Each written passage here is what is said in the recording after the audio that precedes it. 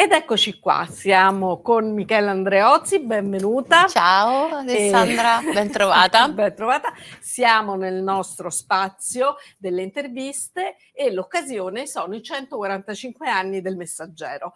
Il vice direttore Alvaro Moretti ti ha fatto vedere la splendida mostra che Bellissima. Giù, con tutte le prime pagine che emozionano. Quindi la mia prima domanda è il tuo rapporto con il messaggero è un giornale di casa, non è un giornale di casa? Pensavo che mi chiedessi il mio rapporto con i 145 anni, potrei dire che il messaggero se li porta bene come me, che ne ho 145 e me li porto benissimo. Allora, il Messaggero è assolutamente il giornale di casa. Io sono cresciuta a Roma da famiglia napoletana, per cui diciamo che sono stata la prima di famiglia, la, la, diciamo faccio parte di quella generazione di romani che però sono arrivati da fuori e, ehm, e, il messaggero si è sempre letto perché era il giornale di Roma, come diceva giustamente Alvaro prima. Lo leggeva mia nonna, lo leggeva mio zio, io abitavo a casa con i miei genitori, mio fratello, mia sorella, mia nonna, uno zio, ci sono due coccodrilli ed un orangotango, solo non si vedono i due leopardi. Questa era la situazione famiglia, familiare. Per cui mh, assolutamente era il giornale che ti raccontava questa città, e dal punto di vista professionale hai avuto delle rispondenze nel messaggero, non so, magari una prima critica, una prima... Devo dire che il messaggero è sempre stato molto gentile con me.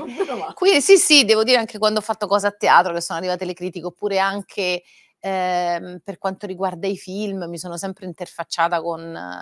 Eh, quando sono usciti i film mi sono sempre interfacciata con uh, delle bellissime firme che ci sono qui, e, da Andrea uh, eh, a, alla Satta, eh, che, di cui stimo tantissimo il lavoro, per cui è, c'è sempre stato uno scambio molto vivace e, e costruttivo, quindi no, no, non c'ho mai avuto un problema in vita mia. Beh, insomma, non ti abbiamo fatto una presentazione perché sei talmente famosa che no. uno non è che... No, non fare così. Ma no, verità, ma, la gente, no, ma non insomma, so talmente, ragazzi, talmente famosi sono altri no, però. però insomma, sono conosciuta in città. Sceneggiatrice, commediografa, Attrice ogni attrice, tanto. Attrice, quindi... Eh, Ho fatto anche la radio. eh, quindi, sì. insomma, hai veramente un ventaglio. In questi giorni sei a teatro. Sono a teatro, guarda, è eh. inutile eh. fare promozione purtroppo perché è tutto sold out, quindi cioè, volevo anche, mi faceva pure piacere dire, guarda, sono al Teatro Golden con il regalo perfetto insieme a Simone Montedoro, ma non c'è più un biglietto. Però il regalo perfetto mi dà l'occasione per farti una domanda. Qual è il regalo perfetto per te? Una sorpresa, non voglio sapere che cosa c'è dentro. E invece il regalo perfetto per la città di Roma quale sarebbe? Sarebbe il regalo perfetto per la città di Roma sarebbe assolutamente la pulizia, secondo me, perché aiuterebbe mh, mhmm, tutti, da noi che ce la viviamo, i turisti che vengono da fuori, i bambini che giocano, gli animali, car- le carrozzine, l'igiene. Questo per me è, un, è per me un tarlo fondamentale, quello della pulizia. Tarlo, uh, cioè io so una che se trova una roba per terra mentre sto andando, sì, la prendo e la vado a buttare. Sì. Questa è la verità. Quindi spirito civico, però... Sì, troppo pure, cioè so una proprio che io quando faccio le stories che trovo qualche cosa per terra io taggo il sindaco, cioè sono una così nelle storie su... No, però mi legge. Ah, ecco. Lo so che mi leggi, Gualtieri. Beh, questo è già un Sì, sì, già una cosa, sì, sì. Che prenderà nota delle tue segnalazioni. Ogni tanto è successo che ho visto che sono stati fatti degli interventi, quindi mi auguro che, diciamo, questo, questa piccola popolarità che uno ha serva anche a questo. Oltre all'impegno civico, però la, la tua cifra eh, diciamo appunto niente, zero, proprio abbiamo un problema. Va bene. Mi hanno dato, mi hanno dato questo. La, oltre, stavo dicendo, oltre l'impegno civico, eh, la tua cifra però è, almeno insomma, conoscendoti, vedendo tutte le opere che, che hai fatto, è il punto di vista femminile. Ecco, allora volevo mh, mm, portarti su, su questo tema. Qual è il tuo punto di vista sul femminile quotidiano, visto che siamo in un quotidiano? Allora, io ho una femmina l'abito, quindi non posso avere un altro punto di vista, posso empaticamente proiettarmi dentro il punto di vista di qualcun altro, nel pop, come dicono i ragazzi adesso.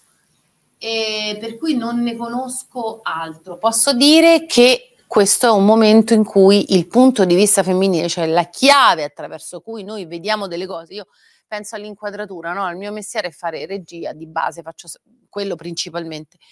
Quindi io decido che cosa inquadrare, ma decido anche che cosa non inquadrare. Quindi il punto di vista è un frame, è uno spicchio di mondo su cui io po- poso gli occhi. Non sono i miei occhi, è la scelta di quello che io voglio guardare. Quindi se io voglio guardare te e l'albero dietro, includo il tema del Natale, se voglio guardare te e il microfono che, fun- che non funziona, mi sto inquadrando un'altra cosa. Se inquadro il tavolino con gli occhiali e il giornale e il telefono, sto inquadrando il tuo mondo lavorativo. Quindi in qualche maniera il punto di vista è quello che fa la differenza.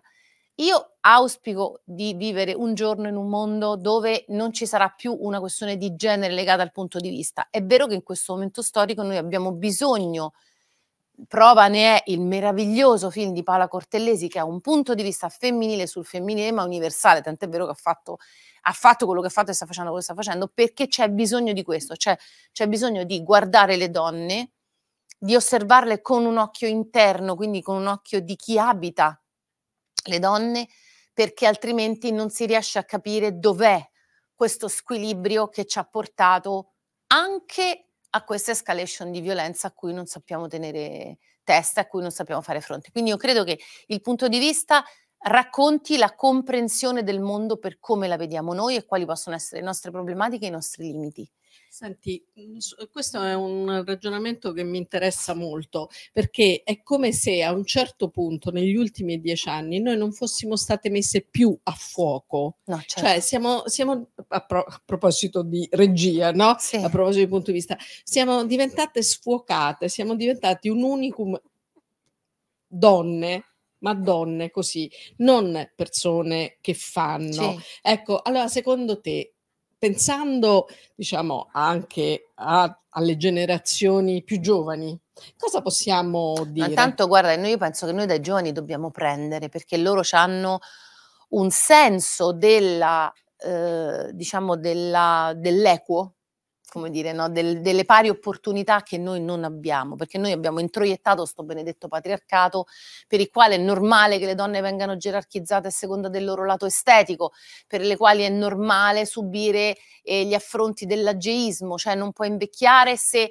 e se invecchi con i capelli grigi non va bene, se te rifai non va bene. Cioè tutto questo mondo di giudizio nei confronti della donna ha sfocato il tema delle donne. Le nuove generazioni si rifiutano di farsi sfocare, infatti si mettono molto a fuoco in una maniera molto individuale, quindi ci sono, no, come dire, io sono femminista, io sono questo, io sono fluida, io sono eh, contro, io sono pro, cioè hanno comunque un punto di vista, sono tante voci diverse, ma probabilmente c'è bisogno di questo, cioè c'è bisogno che si sviluppino tante voci diverse perché si crei una nuova generazione di donne tutte a fuoco. Quindi diciamo che ognuna, questo individualismo non è sempre buono perché poi metti il fuoco su di te, però siccome ci sono molti fuochi, anche grazie a questi demonizzati social network che hanno invece una loro utilità, eh, secondo me questo, questo mettere a fuoco i singoli ci aiuta a mettere a fuoco un'intera categoria che è stata tanto bistrattata. Noi come donne non,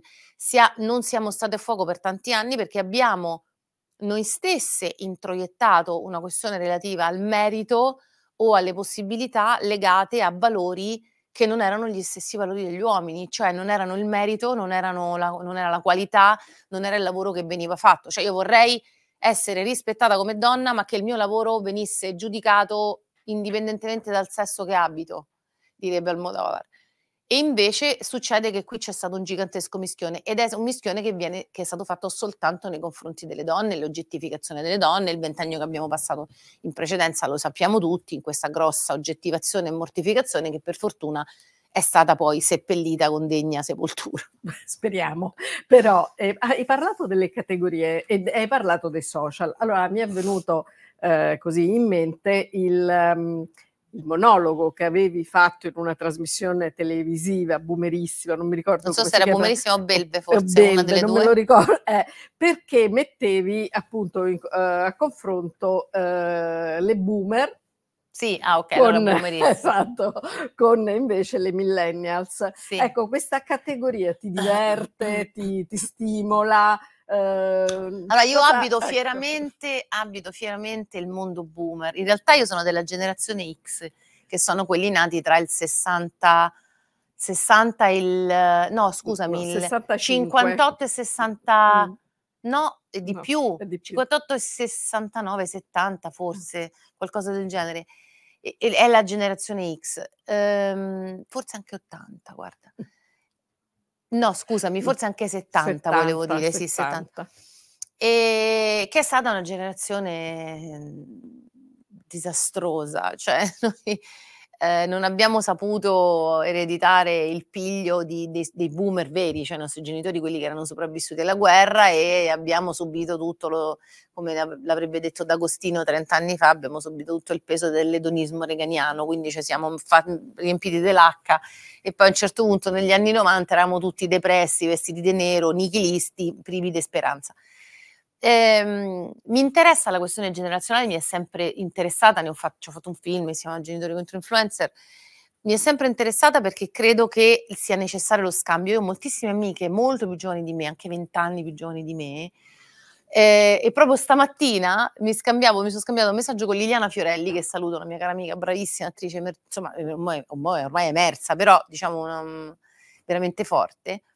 E lei, eh, m'aveva- cioè, ci siamo scambiate questa vignetta in cui si- c'è scritto che se sei un artista, passatemi la parolaccia, si inizia con promettente, esatto, eh, come dire, fiorente promessa, ma non mi Sì. ricordo com'era la, esattamente com'era la scritta, e finisci con, eh, diciamo, poi sei Venerato maestro. venerato maestro e in mezzo sei un totale coglione, stronzo. esatto, solito stronzo per un sacco di- Solito per stronzo. cui io gli ho detto, mi sa che tu sei una promessa, io sono un maestro. E lei mi ha detto, no, mi sa che siamo tutti e due ancora nella fascia solito stronzo. Quindi diciamo che è interessante questo scambio generazionale perché intanto ti fa sentire mh, utile, fa sentire utile l'esperienza che tu hai vissuto e anche rende nobile l'età in cui si vive, perché io vorrei anche che insomma fossero, smettessimo di demonizzare questi benedetti 50 come se fossero uno sparecchio. Intanto arrivaci, arrivaci così, che sono due.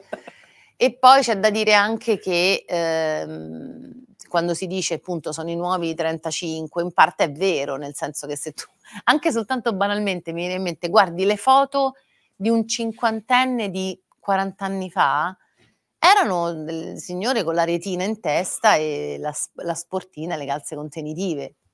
Mo no, cioè, ma nessuna della mia Adesso da, generazione. da attrice regista vieni naturalmente con un meraviglioso colore viola. Perché io me ne frego della superstizione. Molto bene.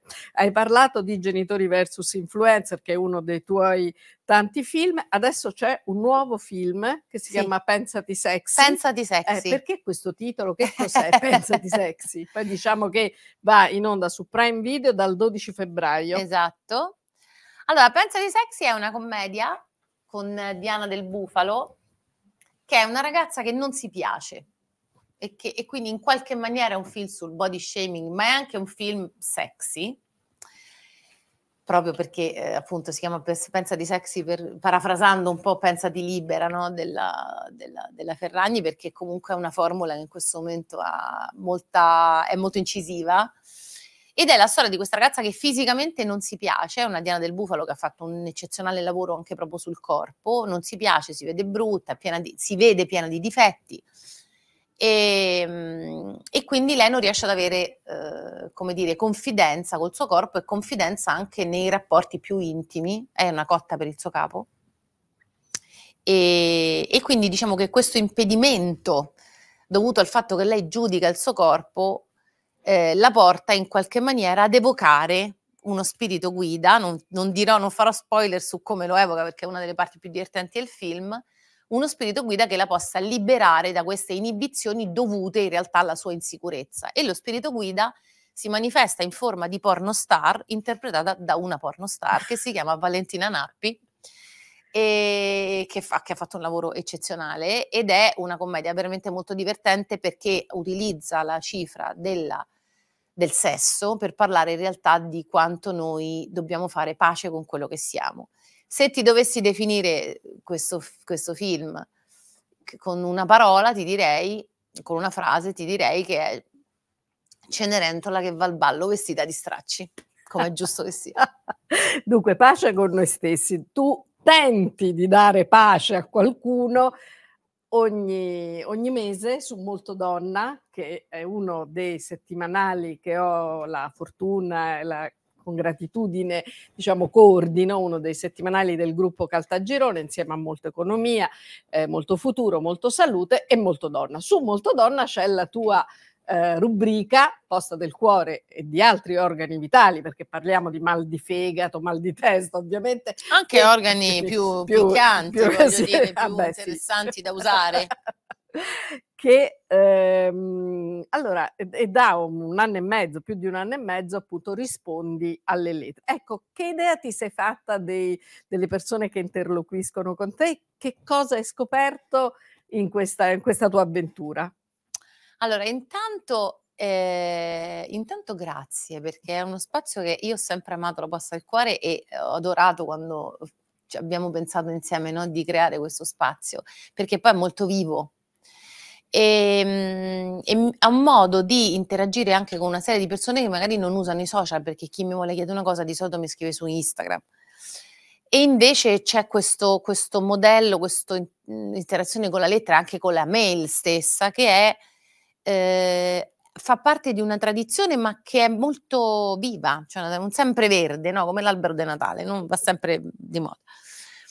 Allora, ho scoperto eh, una cosa che mi ha abbastanza turbato e che, su cui poi vorrei ritornare, che eh, diciamo la, la, malattia di questo millennio ehm, è, si, è, si è attaccata all'ego delle persone.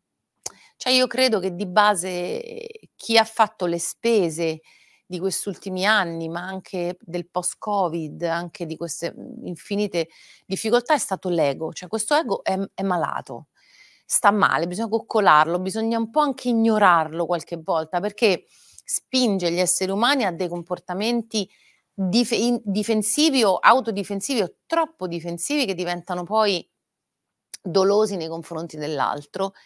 L'ego ci, ci, non ci permette di agire ma solo di reagire. Io un po' ho scoperto che siamo quello che reagiamo. Cioè, se reagiamo bene vuol dire che abbiamo un rapporto equilibrato con questo ego, ma chi reagisce male o tenta di convincere gli altri o di manipolare, c'è sicuramente qualche problema di ego che, che è fuori, diciamo, dal, dal, dal proprio equilibrio, no? E ho scoperto che la maggior parte dei problemi che vengono fuori, che vengono raccontati, ri, ri, sono relativi al tema della manipolazione. Cioè le persone si ritrovano ad essere manipolate perché l'ego di qualcun altro si è nutrito della loro disponibilità è stato ingannato, è stato tradito, è stato, nutrito e molto spesso le persone si sentono in colpa per aver permesso a qualcuno perché mi sono fatto fare così male. Questo più di 20 anni fa, 30 anni fa, quando c'erano le poste del cuore classiche in cui dice mio marito mi tradisce, eccetera, con la segretaria non ti preoccupare, tu basta che fai la lisistrata e lui torna a casa.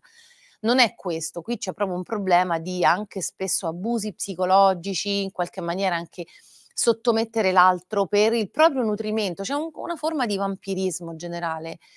Eh, non è che tutti adesso sono affetti da questo, ma se devo fare una sintesi delle problematiche che sono uscite fuori, sono molto relative a questo vampirismo emotivo e sentimentale. Quindi mi sono fatta una cultura, intanto che è sempre utile.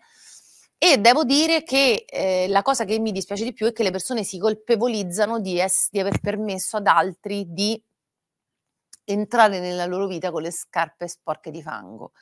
In, invece mi viene da dire non è colpa vostra, perché i manipolatori fanno di mestiere questo, cioè manipolano, quindi ingannano l'altro e fanno credere di essere quello che non sono.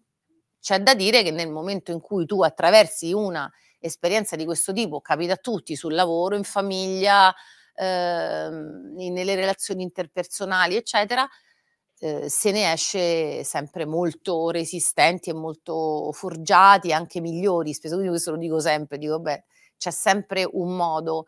Però mi piace tanto poter dare un punto di vista. Guarda, io non mi, non mi riconosco tantissime qualità, sono abbastanza critica nei confronti di me stessa. Mi riconosco la velocità, questo è una cosa che mi riconosco, mi riconosco la serietà, cioè sono una persona molto seria nelle cose che fa. Quindi non so, probabilmente se ho un talento lo uso bene, lo uso tutto. E lo metti al servizio. E lo metto al servizio e sicuramente mi ritengo una persona saggia. questo sì, ma sembra una vecchietta già da piccola. Ecco, allora. Obi-Wan mi chiamano le amiche, figurati. Come ti chiamano? Obi-Wan Kenobi. Allora, da Obi-Wan Kenobi, Michele Andreozzi, per concludere, visto che siamo alle battute finali, voglio un augurio di Natale per i lettori del Messaggero, per il Messaggero e per la città. Allora, me la stai facendo molto difficile. Allora, l'augurio di Natale per i lettori del Messaggero è di conservare questo ehm, rapporto con, ehm, con la notizia, cioè con l'informazione che riguarda il luogo dove abitiamo, perché la globalizzazione, la gentrificazione ci hanno fatto dimenticare che siamo cittadini di una città e invece per, per ricordarci solo che siamo cittadini del mondo. Cittadini del mondo va bene, ricordiamoci che siamo qua.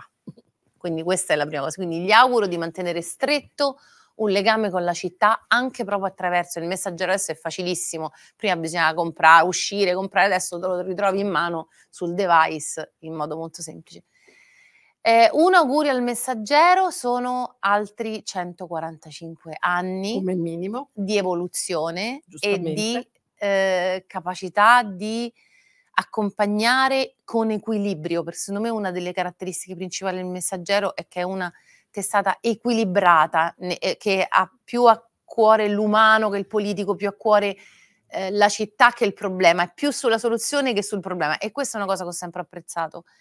E un augurio alla città di Roma, resisti, resisti, cioè stiamo mettendo tutta, tutti, resisti. E allora con questo bell'augurio noi concludiamo, Grazie, ti ringraziamo Alessandra. tantissimo. Auguri di buon Natale, buone feste, albero o presepe? Assolutamente l'ultima? albero. Albero, allora sotto l'albero buone feste a tutti.